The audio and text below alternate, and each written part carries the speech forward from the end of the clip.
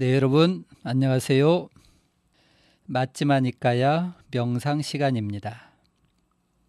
이 시간은 부처님 말씀에서 피어나는 훈훈하고 따뜻한 명상의 향기를 바로 지금 여기에서 자신이 있는 그곳에서 스스로 느껴보고 맡아보는 시간입니다.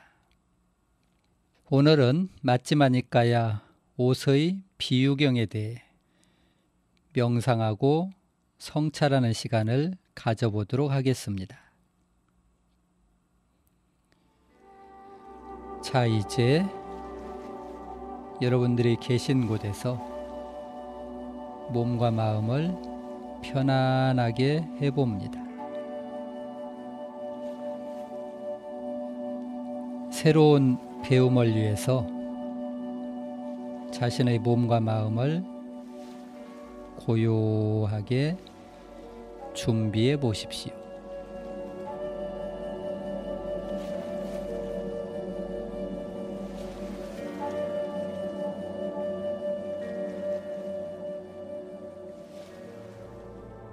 세존께서 말씀하셨습니다. 비구들이여, 때가 묻은 더러운 옷을 청색이나 황색이나 적색이나 분홍색으로 염색한다면 더러운 염색이 될 것입니다. 왜냐하면 옷이 더럽기 때문입니다. 이와 같이 마음이 더러울 때 당연히 불행이 있습니다. 청정하고 깨끗한 옷을 청색이나 황색이나 적색이나 분홍색으로 염색한다면 깨끗한 염색이 될 것입니다. 왜냐하면 옷이 깨끗하기 때문입니다. 이와 같이 마음이 청정할 때 당연히 행복이 있습니다.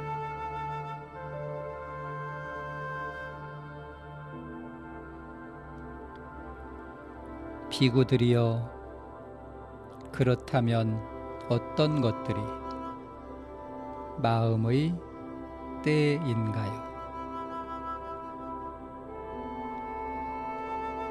삿된 탐욕이 마음의 때입니다.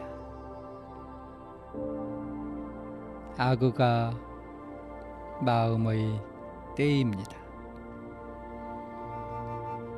분노, 원한, 위선, 앙심, 질투, 인색, 거짓, 배신, 고집, 충동, 교만, 자만, 중독, 게으름이 마음의 때입니다.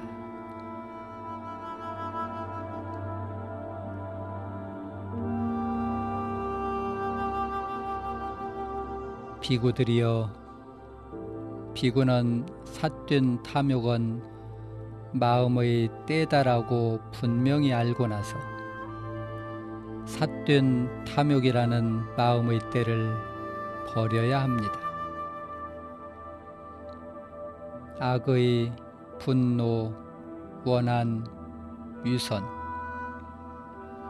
앙심, 질투, 인색, 거짓, 배신, 고집, 충동, 교만, 자만, 중독, 게으름은 마음의 때다라고 분명히 알고 나서 그 마음의 때를 버려야 합니다.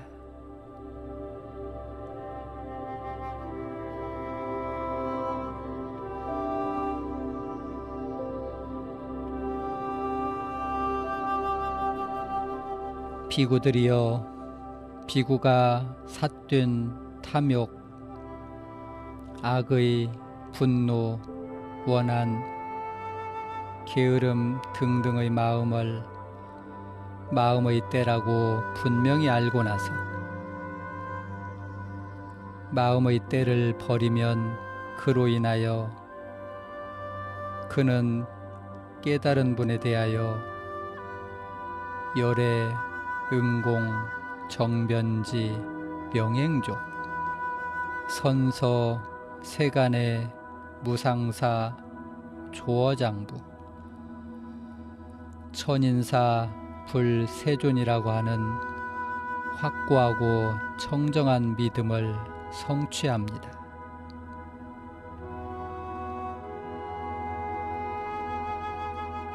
그는 가르침에 대하여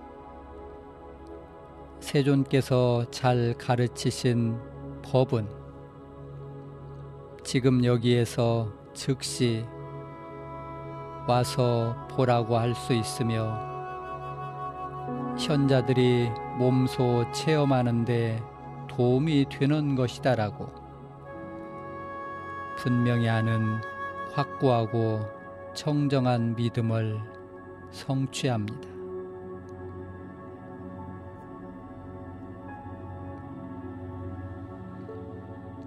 그는 승가에 대하여 세존의 승가는 좋은 수행을 하고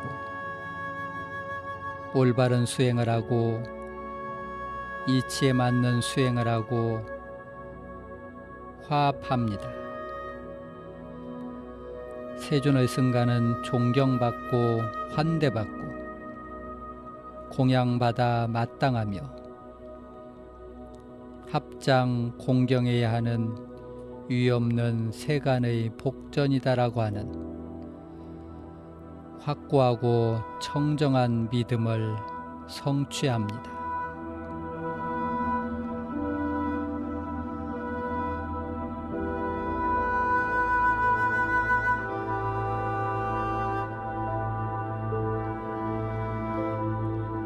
마음의 때를 버리고 포기하고 벗어나고 없애고 단념할 때 비로소 부처님과 부처님 가르침과 승가에 대하여 확고하고 청정한 믿음을 성취했다라는 말의 의미를 알게 되고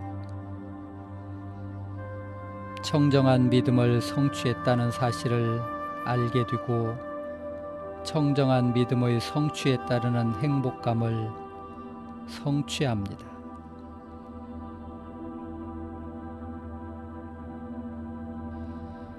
행복감에서 기쁨이 생기며 기쁘기 때문에 몸이 편안해지고 몸이 편안해지기 때문에 행복을 느끼며 행복이 깃든 마음은 삼매에 듭니다.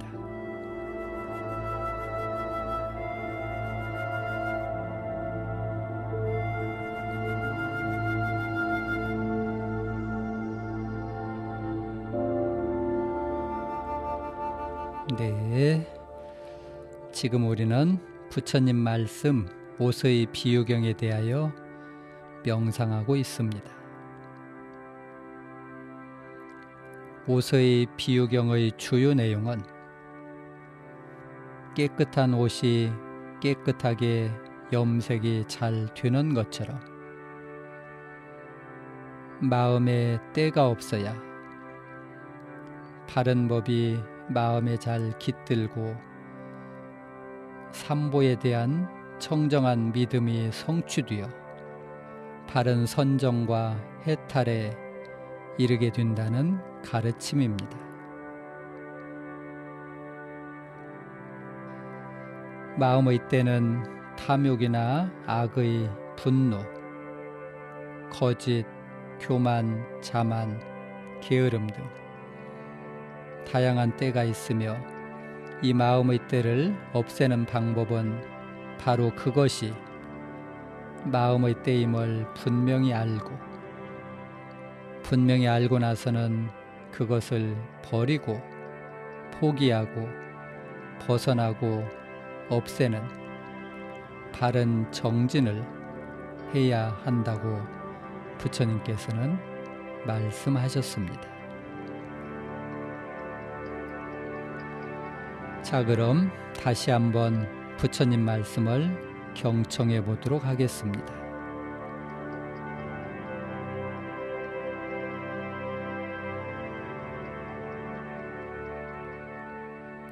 세존께서 말씀하셨습니다. 비구들이여 때가 묻은 더러운 옷을 염색한다면 더러운 염색이 될 것입니다. 왜냐하면 옷이 더럽기 때문입니다. 이와 같이 마음이 더러울 때는 당연히 마음에 불행이 있습니다.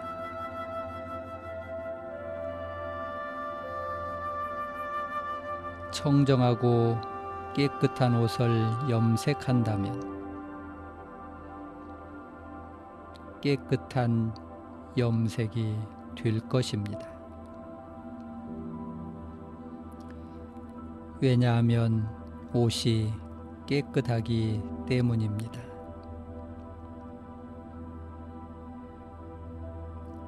이와 같이 마음이 청정할 때는 당연히 마음에 행복이 있습니다. 비구들이여 어떤 것들이 마음의 때인가요? 삿된 탐욕이 마음의 때입니다. 남을 미워하고 해치려는 마음이 마음의 때입니다. 분노나 질투, 인색함, 고집부림, 교만심, 자만심, 게으름 등이 마음의 때입니다.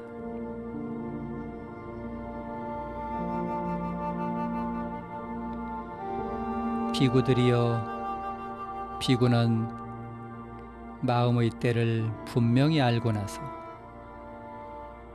그 마음의 때를 버려야 합니다.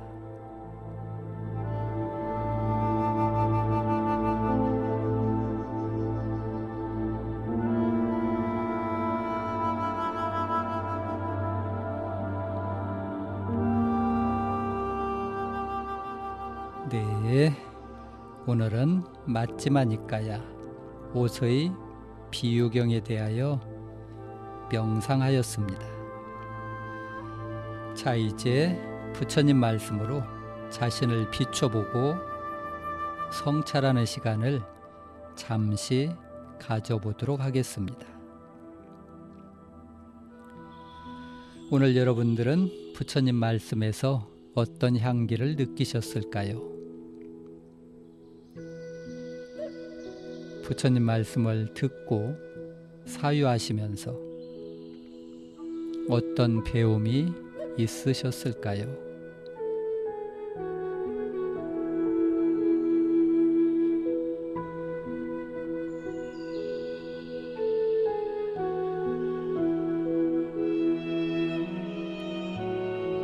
자신의 마음의 때는 무엇인지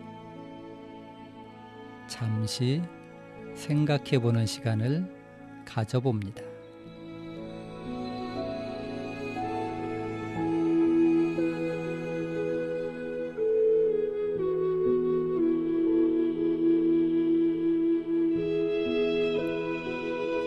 이미 못 묻은 마음의 때를 어떻게 깨끗이 할 수 있는지를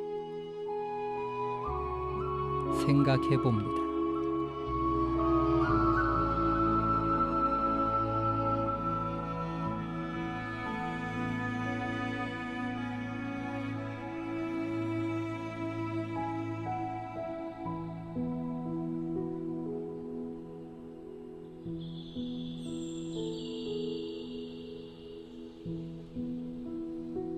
마음의 때가 다시 생기지 않도록 하려면 어떻게 하면 좋을지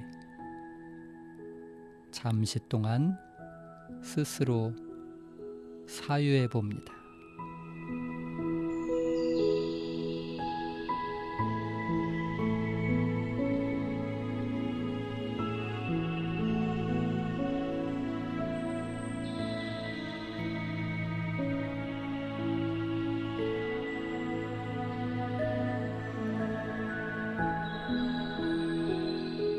이제 천천히 심호흡을 세 번 해보시고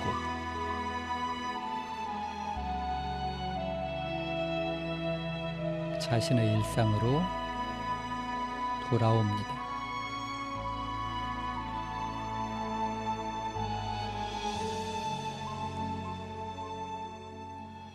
네, 잘하셨습니다.